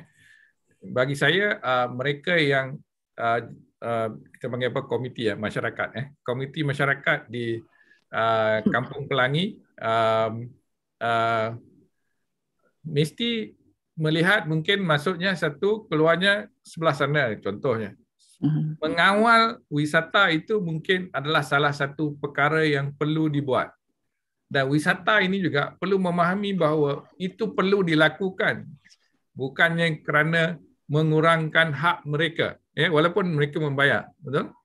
Jadi uh, apa yang saya maksudkan di sini adalah uh, sebagai wakil di UTM ya equivalent di sana wakil rektor saya tak tahu wakil rektor 1 2 3 atau 4 ya. Um, tetapi saya yang menjaga kampus sebenarnya ya. Wakil rektor pembangunan ni menjaga keseluruhan kampus. Dulu kami total lockdown kampus. Tak boleh eh pelajar tidak boleh keluar dari kampus kerana total lockdown dan kami makan bagi pelajar makan free setiap hari selama 14 hari. Cost us 1 million ringgit for that 14 days. Yeah, to create safe uh, again condition sebab ada 64 atau lebih pelajar yang positive case okay, dalam kampus. Jadi kami diminta oleh kerajaan tutup dan declare dan saya adalah komandan menentukan semuanya itu berlaku dengan baik selama 14 hari. Okay. Jadi saya tengok kat situ walaupun ya dormitory is, is already designed macam saya kata tadi naturally ventilation ya berlaku uh, tingkap boleh buka dan sebagainya. So it's all about behavior. It's all about our attitude. It's all about okay, our resistance, personal resistance. Yeah. Macam saya kata dekat igloo tadi, the the the the igloo, eh, the ice blocks is the first resilient. Tapi kalau kita orang tropika dengan baju macam ni masuk confirm mati terus lah agaknya. mati kesejukan. Jadi uh, uh, we have to wear the second layer of resilience, right? So it's our attitude, it's our and needs and our lifestyle. So saya rasa di di kawasan-kawasan heritage dan dan bagi tujuan wisata uh, lebih kepada uh, prosedur ya. Prosedur itu perlu dilihat tapi jangan mengekang wisata itu dari berlaku ya. Contoh eh contoh uh, saya saya uh, mungkin uh, uh, ketahanan pemukiman tradisionalnya atau the resilience of the uh, traditional settlement tetapi tidak mengaitkan dengan pandemik ya. Itu saya mungkin kurang jelas bila berbincang dengan Pak Subhan tapi uh, saya cuba jelaskan tadi dan kaitkan semasa delivery of the slide ya. Uh, harap-harapnya itu membantu. Tapi uh, basically um, is is is about uh, resilient bukan saja kerana seni bina ataupun architecture-nya. It is all about us yeah? Yeah our behavior yeah? Within the um, um, heritage areas yeah? Uh, kalau di ya yeah, kampung Jodipan kalau di mana ya Surabaya itu kalau di uh, di uh, memang memang lorongnya lorongnya memang sempit. Jadi mesti mau tunggu tunggu orang ni lalu sudah less than one meter. Kalau itu tidak dibenarkan, wisata tidak boleh berlaku. uh, jadi, nak so back to the first thing first adalah dua dos tu kalau percaya di situlah. Dua dos itu merupakan resisten pertama. Dua dos suntikan. Itu adalah dos pertama. Jadi kalau anti vaksin duduk rumah sajalah sebab dia akan mengganggu orang lain. Itu pandangan saya, ya, Bu. Oke. Oke, terima kasih Prof. Hamdan. Menarik okay. yang saya catat tadi, terutama pertama mungkin attitude gitu ya. behavior, our behavior. Yes. Uh, mungkin kita bisa bantu mengcreate uh, di uh, desainnya itu supaya uh, bisa mengontrol behaviornya itu tadi. Terima kasih ya. sekali, Prof. Hamdan. Uh, yang lain tu mungkin kita sukar lakukan. Mungkin boleh kita tambahkan uh, fan kan to increase ventilation, but uh, I don't know. Uh, I, I think maybe that is too much of a trouble to eh uh, to live with the pandemic. I think the idea now, uh, saya sudah percaya bahawa we need to live with the pandemic. Okay, selepas dua dos, you have to live with the pandemic. So this is where pandemic become endemic, right? Mm-hmm. Yeah. Terima kasih, Prof. Okay. Terima kasih. Selanjutnya Pak Subhan sudah raise Ya, saya boleh nanya silakan. ya. Iya, silakan. Oke, okay, Prof. Oke. Okay. Uh, jadi ini menarik sekali tadi beberapa materi mulai dari beberapa jenis permukiman yang ada di dunia ya di es, polar dan sebagainya di secara yeah. iklim, iklim dan sebagainya. Kita bisa tarik kesimpulan bahwa sebenarnya permukiman kita atau masyarakat kita itu sudah mengalami banyak hal ya dari iklim, dari kondisi yang ekstrim sampai kondisi yang eh, apa namanya kondisi lingkungan yang yang apa namanya nah itu bencana atau eh, hazard itu tidak hanya terjadi mungkin 10 tahun terakhir ya, tapi mungkin sudah terjadi ratusan tahun kita sudah pernah mengalami itu. Nah, tetapi memang uh, yang saya tarik juga dari pemateri kuliah sebelumnya dari Ibu Dr. Sri Utami bahwa ketahanan atau resilience kita di permukiman itu ada tiga ya. Misalkan secara ekonomi, secara sosial dan secara budaya kita tuh secara sebenarnya sudah uh, bisa bertahan dalam berbagai macam kondisi gitu ya. Dari dulu. Bahkan uh, ada beberapa permukiman tradisional yang nol. Yang yang yang apa inspect, uh, infected itu nol nol persen tidak ada orang. Nah tapi uh, ternyata dengan kondisi pandemi sekarang ini tiga hal ini uh, ekonomi, sosial, budaya ini semua uh, terganggu. Jadi orang tidak bisa lagi kumpul secara sosial, secara budaya mereka juga tidak bisa berinteraksi, melakukan aktivitas-aktivitas uh, yang uh, apa namanya ya mereka harus bersosialisasi, ber, melakukan yeah. Ya. interaksi. Kemudian secara ekonomi juga mereka turun, tidak bisa melakukan aktivitas yang ini, yang apa namanya. Walaupun ini harus lebih di saya lihat lagi ya. Apakah infrastruktur seperti di permukiman ada ada ruang terbuka, ada ruang-ruang uh, komunal ya, komunal space itu yang bisa bertahan di era pandemi itu. Yang yang bisa yang bisa kita manfaatkan gitu ya untuk membangkitkan tiga, tiga hal ini, untuk membangkitkan ekonomi, sosial, dan budaya ini. Gimana Prof kira-kira pendapatnya? Oke, okay. uh, sebenarnya yang paling paling paling senang dijawab adalah ekonomi. Uh, kerana ekonominya kalau tidak ada aktiviti uh, membeli, ekonomi tidak akan akan bercambah. Ya. Jadi jika semua orang duduk di rumah tetapi tidak membeli secara online, ekonominya tidak akan dibantu. Right? Jadi salah satu perkara yang kita nampak berhasil semasa lockdown adalah uh, bagaimana uh, pengusaha eh, karyawan karyawan yang di sana pengusaha-pengusaha dia berubah metod perniagaannya kepada online ya yeah. saya menjaga uh, ratusan uh, cafe operators inside the campus. Right?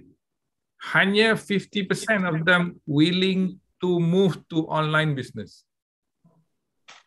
And they stay well until today during the pandemic.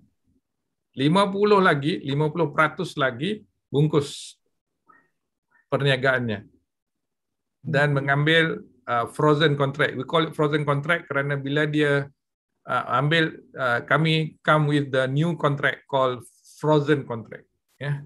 jadi operator ni ambil frozen contract dia kena tutup kedainya dalam kampus dia tak boleh berniaga saya tak boleh ambil uh, wang wang sewa hmm. tapi kalau dia berniaga saya akan ambil datang wang sewa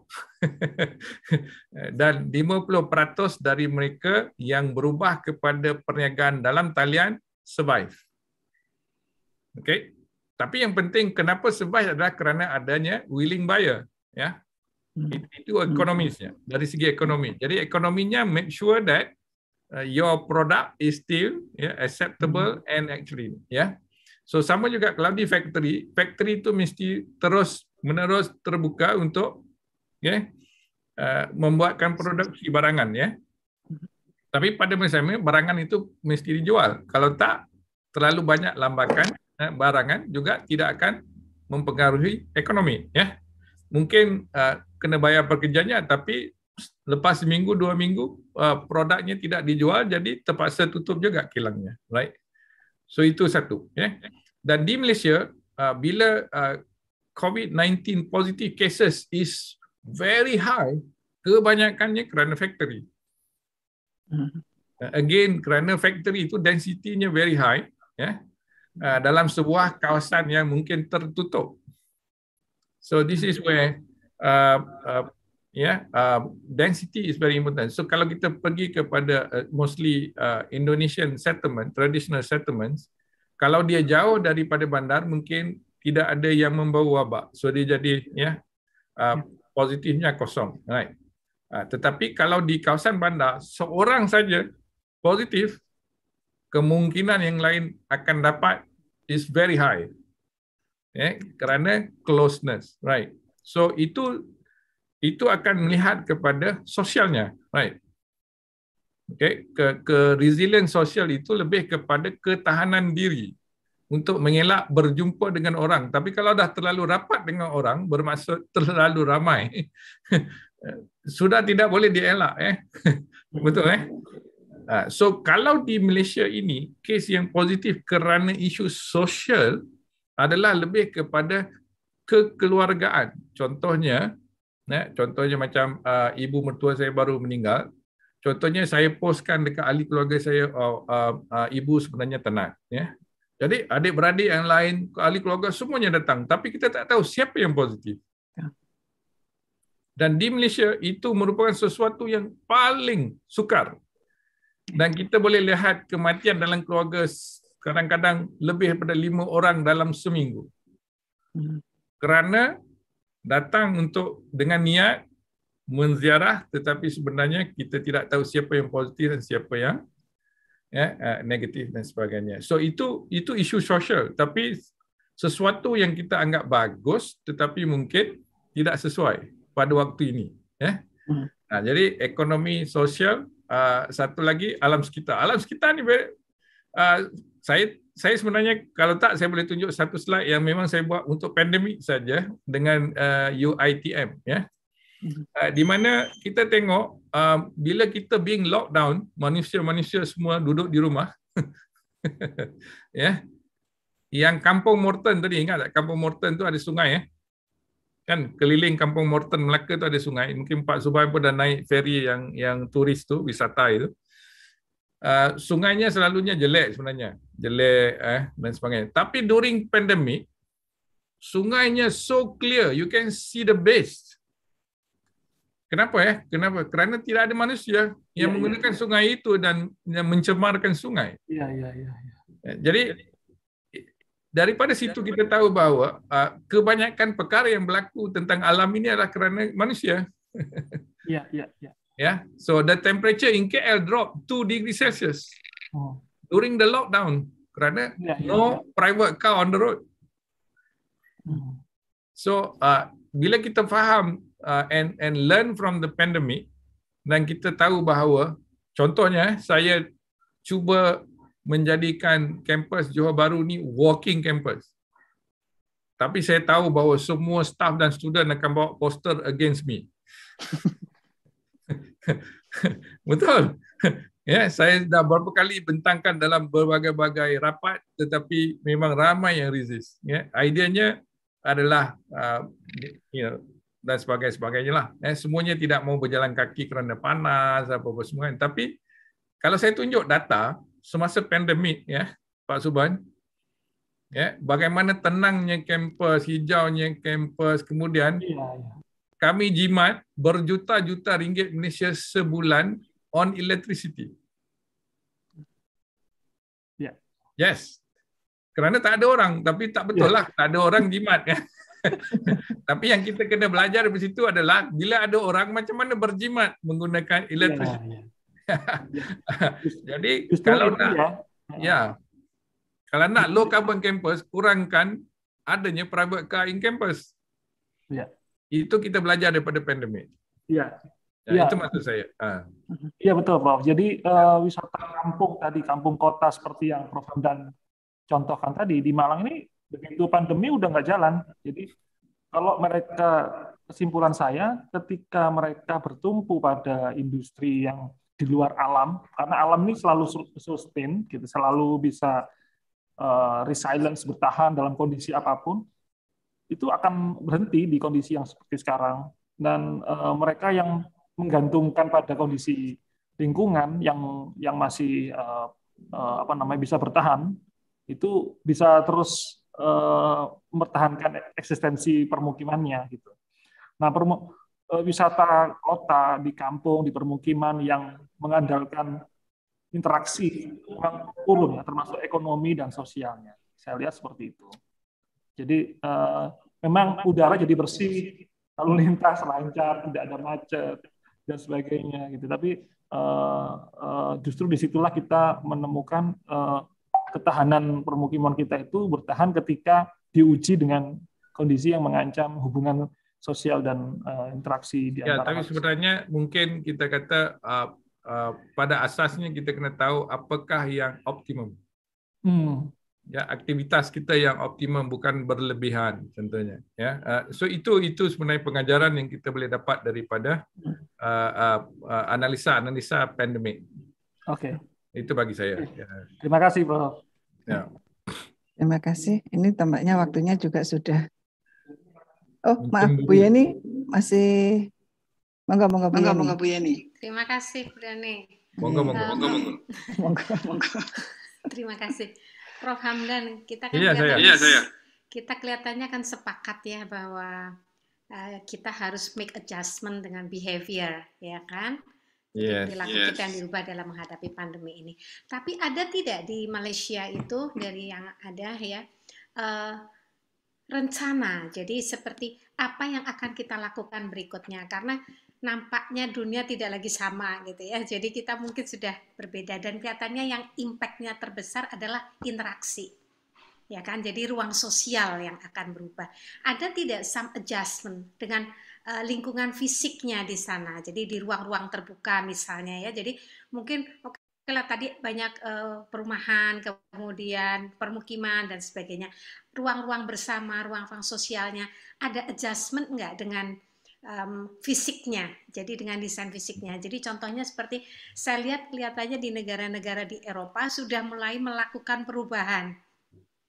Karena dari risetnya ada di beberapa negara yang masyarakatnya meminta perubahannya permanen, bukan hanya saat pandemi saja. Artinya mereka sudah worry dengan apakah kita akan uh, terus-menerus karena diperkirakan kan 3 4 tahun ya pandemi ini akan tetap ada. Artinya kan kita harus melindungi diri. Nah, bukan hanya bisa dengan uh, apa namanya behaviornya saja, tapi ada tidak usaha dengan lingkungan fisiknya. Kalau di Malaysia mungkin di ke depannya gitu. Terima kasih.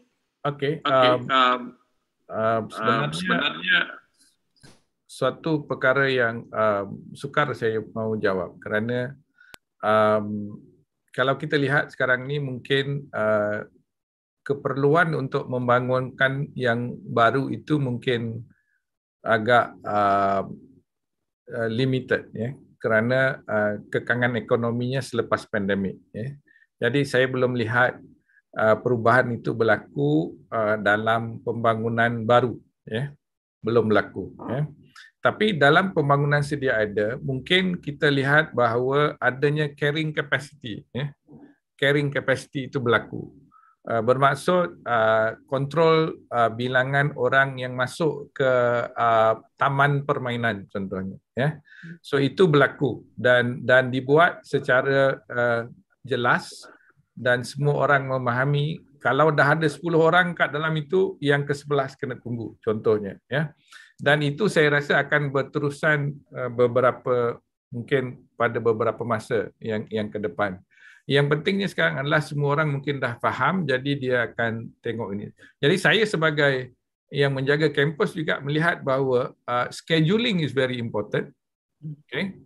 Um, itu satu. Um, dan kami sedang melihat bagaimana optimization of space uh, lebih penting dan ada beberapa bangunan yang kami telah kosongkan terus sekarang ini supaya kita optimize dan bila kita kurang menjaga banyak bangunan kita boleh membuat banyak tindakan yang lebih baik dekat bangunan yang kita jaga daripada banyaknya bangunan ya. Itu beberapa perkara yang kita berlaku. Secara fiziknya juga kita kena melihat bahawa uh, uh, kami terkejut kadang-kadang bila kita nak adakan rapat ya. Dan saya punya uh, uh, instruction kepada mereka yang memohon untuk mengadakan rapat ini mesti mencari ruang-ruang di mana uh, boleh dibuka. Ya ruang rapat yang boleh dibuka tingkapnya. Ada yang surprise bahawa tidak boleh buka tingkapnya. Okey uh, jadi bila itu berlaku bermaksud akan ada perubahan di mana secara fiziknya ya Eh, beberapa renovasi akan berlaku supaya kita tidak lagi ya uh, ada kekangan untuk menggunakan sebahagian daripada ruang yang tidak resilient kepada ya uh, kepada unsur-unsur pandemik ini ya. Jadi itu akan Jadi itu berlaku. Akan berlaku. Maksudnya kita dah dah ada susunan bahawa yang yang benar-benar sesuai hanya digunakan untuk tujuan-tujuan tertentu ya. Uh, pada masa yang sama ya Uh, saya nampak di Malaysia from green rating green rating ya macam green ships Indonesia telah berubah kepada wellness rating. Hmm.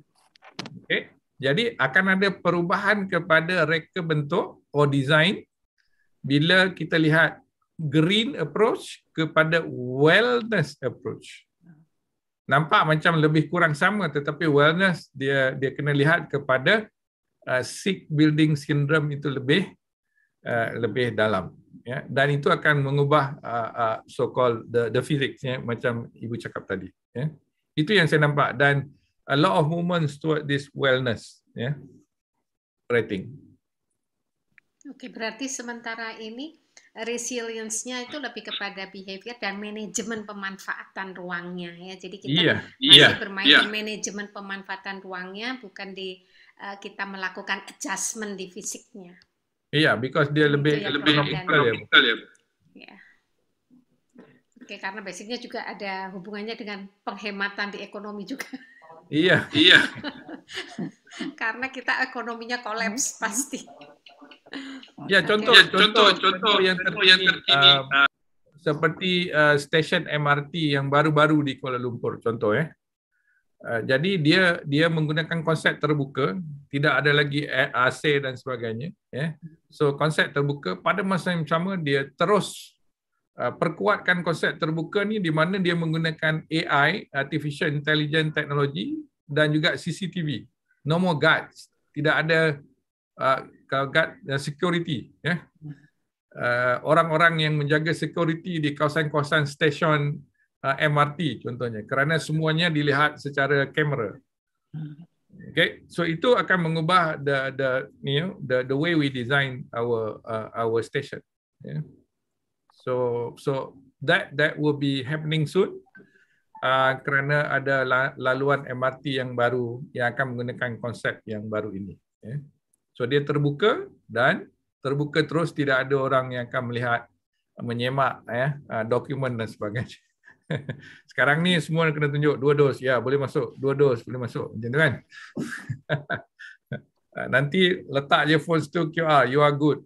Go. Good. You know, things like that. So, uh, so mungkin tidak secara fizik juga, tapi secara uh, AI ya, teknologinya. Teknologi terkini. ya. Terima kasih Prof. Hamdan. Okey. Okey. Saya harap menjawab. Terima kasih. Terima kasih Bu Dani. Sama-sama. Ada yang masih ingin menanyakan lagi? Saya ini diskusinya jadi menarik. Iya. Dan saya saya lihat mahasiswa belum banyak yang bertanya apakah justru dengan diskusi yang bertanya tadi para dosen Pak. Jadi tampaknya mahasiswa memanfaatkan ini untuk tambahan materi perkuliahan jadinya. Ya, mereka masih masih ada tuh 84 orang. Kecuali, ya.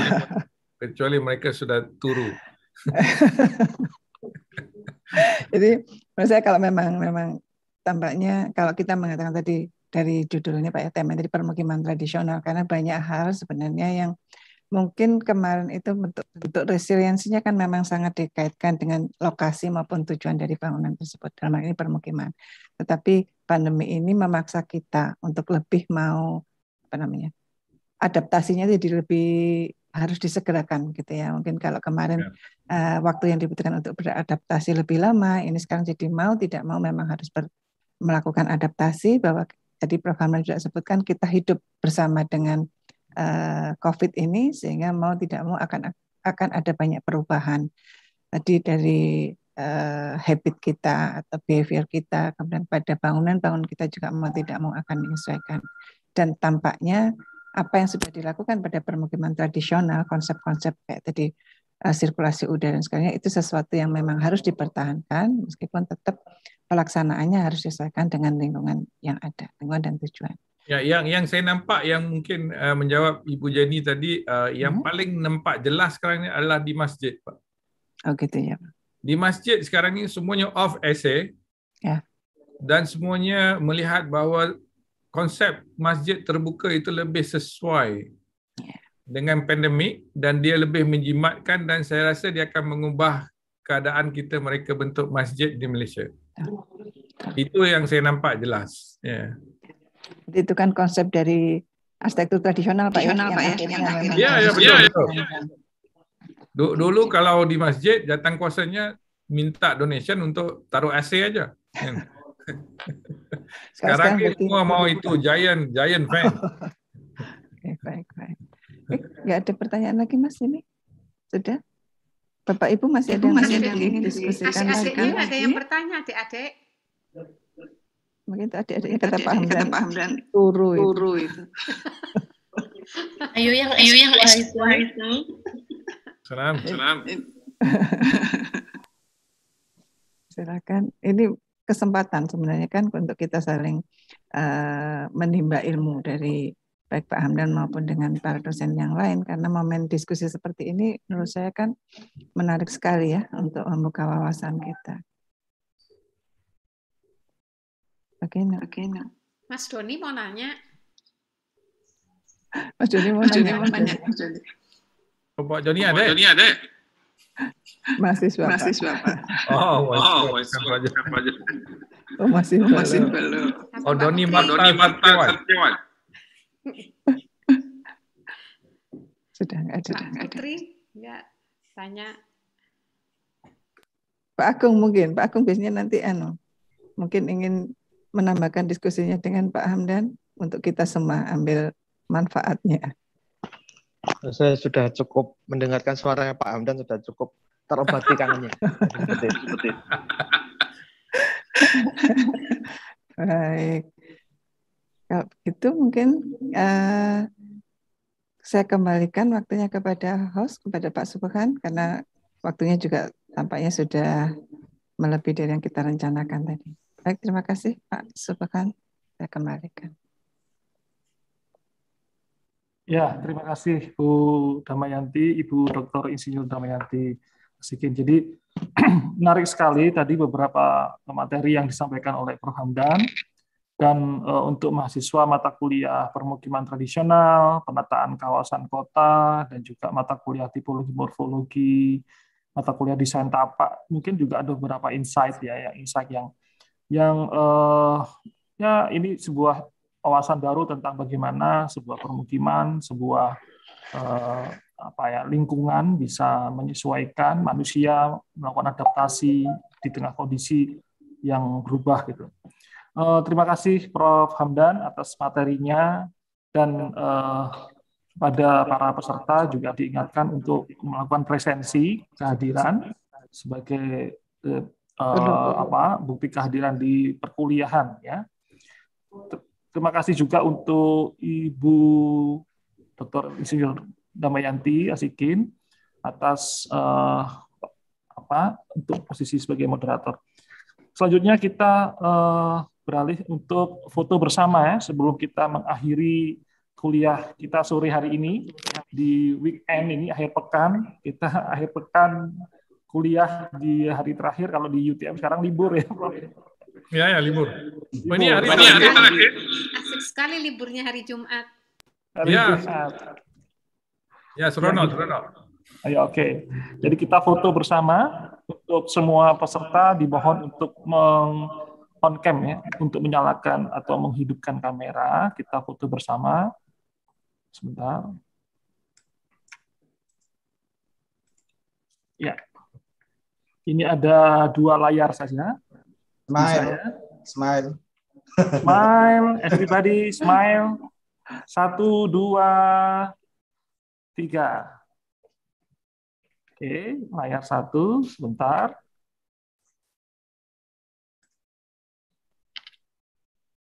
Layar dua. Nampaknya semua belum tidur. Oke, ya, Pak. Ya. Pakai jempol, pakai jempol itu. Satu, dua, tiga. Oke.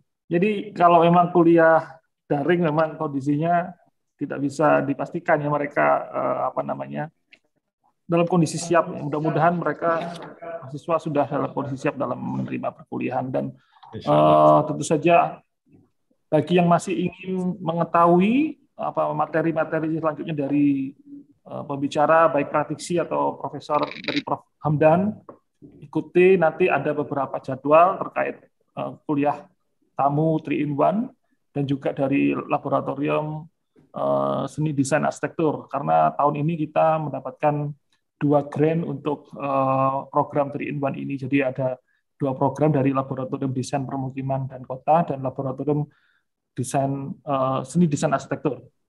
Oke, okay, uh, karena waktu sudah cukup uh, sudah menjelang uh, waktu asar, sudah sudah asar ya, sudah jam tiga lebih. Kita tutup uh, acara hari ini dengan bacaan Alhamdulillahirrahmanirrahim. Terima kasih pada Prof. Hamdan. Mudah-mudahan tetap sehat ya Prof. Untuk kita ketemu lagi tanggal Insya Allah. 13. Tanggal 13 ya? 19. 19, oke. Okay. 19. Jadi 19. 19 Oktober untuk okay. review beberapa tugas uh, mahasiswa yang terkait dengan permukiman tradisional. Oh, tidak ada kuliah yang yang itu review ya? Yes, ada ada kuliah Prof. Jadi ini Bu Dr. Sri Utami dan Bu Dr. Damayanti Asikin yang memandu. Okay, Baik, uh, Kalam, saya mohon maaf bila ada salah kata atas uh, acara ini. Terima kasih atas kehadiran semuanya. Saya tutup. Wabillahi taufiq wal hidayah. Wassalamualaikum warahmatullahi wabarakatuh. Waalaikumsalam. Terima kasih. Terima kasih. Assalamualaikum. Assalamualaikum. Waalaikumsalam. Terima kasih Pak Heri, Pak Supan dan semua. Iya, sama-sama. Iya, sama-sama. Terima kasih. Terima kasih semuanya. Terima kasih semuanya. Oke, terima kasih.